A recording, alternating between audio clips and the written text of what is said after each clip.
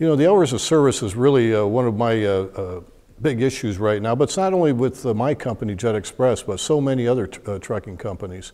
You know, trucking today, we are the rolling inventory, and the recent changes in the rules of uh, hours of service rules and back in July 1st of last year has greatly affected the way that we handle uh, freight.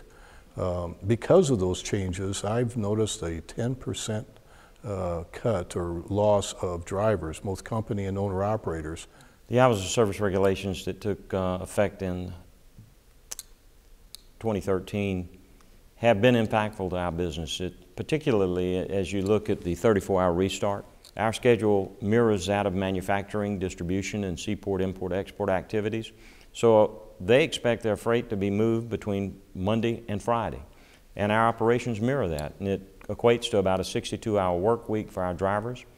And they don't qualify for a restart.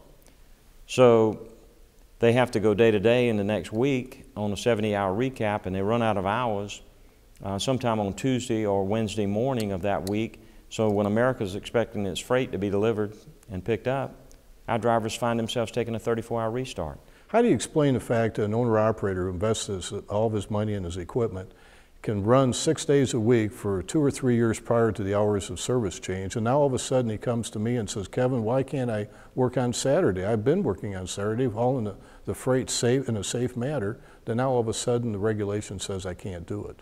I can't legally do it to have them work on Saturday, and then the need to have them on Monday because just in time is scheduled. So it's Monday through Friday with the economy picking up, we need Saturday work. When we put Saturday in there because of the new hours of service uh, regulations, if you will, it disqualifies them.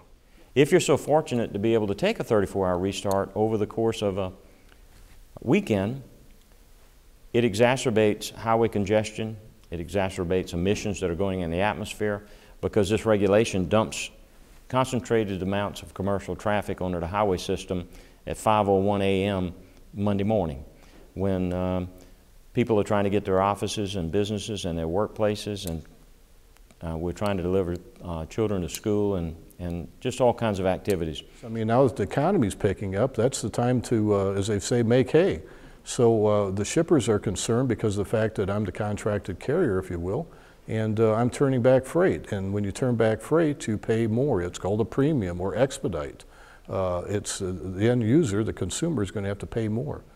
But more impactful, it impedes the free flow movement of America's goods. And what Americans need to understand and what our elected officials need to understand about this regulation, while it does all these negative things to our industry, it doesn't bring about one ounce of public highway safety. And let's take a look at the rule uh, over the next year and uh, come up with some concrete evidence. We're, we're still safe, and it just doesn't make any sense as to why we need this change.